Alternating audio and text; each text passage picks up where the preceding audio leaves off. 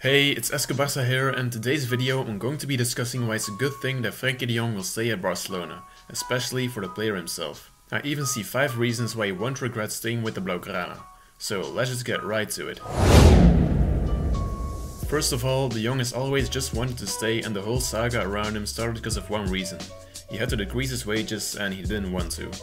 At the same time, teams like Man United offered him much higher wages than Barcelona were gonna pay him. Then it's only logical that a player starts to doubt his future and rumors start to spread. At the moment, it's very unlikely he's still gonna leave though, so he will eventually lower his salary probably. And some people see this as injustice to Frenkie de Jong, but if you're at a club that's in financial trouble and you're a professional footballer, which means money is least of your worries, is it then weird that Laporta asks him to lower his income? Of course not. It's not like he's the only player either, he's just one of the highest earners, so he can help the most. If De Jong now lowers his wages, it means that he technically chose Barcelona above money too, and that's one of the things fans appreciate most. And he might earn a little less, but come on, is money the most important thing for a professional footballer? Absolutely not. It's to have a successful career, so if you know Barcelona is a club he wants to succeed at, then it was the right choice to play there for less money and his relationships with the fans will only improve, so even financially, you see why it's not bad that he stays with the Blaugrana. Next, he's one of Barcelona's most expensive signings in history, with 85 million euros. Up till now, he's definitely not been bad, but he's just not been consistent enough. And now he's 25, so for him to leave now would kind of mean that his Barcelona spell was a flop. He's easily still got 7 years at his very best though, so why would he leave now? Just when Barcelona are becoming better again and he can be one of their main players. His greatest years at the club that he wants to succeed at are probably still to come. So to leave now and go somewhere else where he'll need to adapt again definitely wouldn't be the right decision.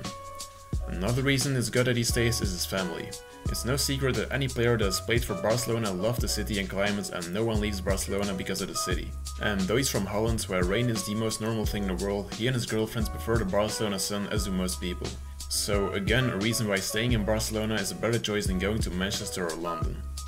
Then it's time to talk about his spell with the Blaugrana up till now. The one thing that has always been the problem with him is the fact that he didn't really fit into the midfield, and it was unclear which position he really needed to play in.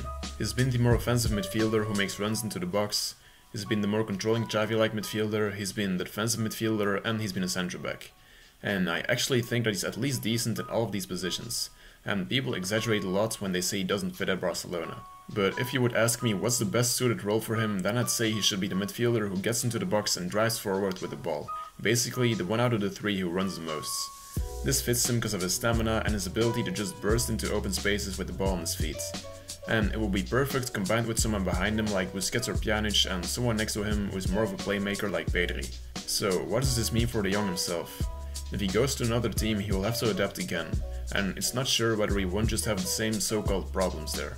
In Barcelona, he's familiar with Xavi's system and he's played numerous great games already. It's definitely an exaggeration to say that his first years at Blaugrana were a waste of time, and in that time it has only become more clear what's the best role for him as Barcelona player. Then there's one last reason he's probably better off staying. A lot of players who leave Barcelona tend to regret it and aren't better off elsewhere. Neymar is probably the best example of this. Barcelona is just a great place to develop and often players don't realize what they have until it's gone. Surely under a coach like Xavi there might be no better place for Frenkie de Jong to reach his full potential than at Barcelona. Xavi is maybe the best midfielder to have ever played the game, he's tactically one of the smartest minds ever and he can analyze the game like no one else. Even most other managers I think. So for de Jong this might be the best coach to have. And I know Erik ten Hag knew him from his time at Ajax and is one of the best possible managers too, but he wasn't as good of a player as Xavi was. And he never played for Man United. Xavi on the other hand has played hundreds of games for Barcelona, and has had periods where he was a hero as well as periods where all the problems were blamed on him. So under the pressure that you get from playing for the Blaugrana, there's literally no one better to get you through it than Xavi himself. Also, there's way more competition in the field than there has generally been the last couple of years, and more than at Man United or Chelsea too.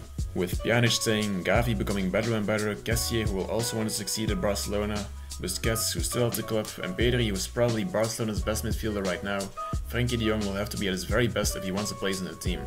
So for his improvements as a player, the fierce competition in midfield is a great thing.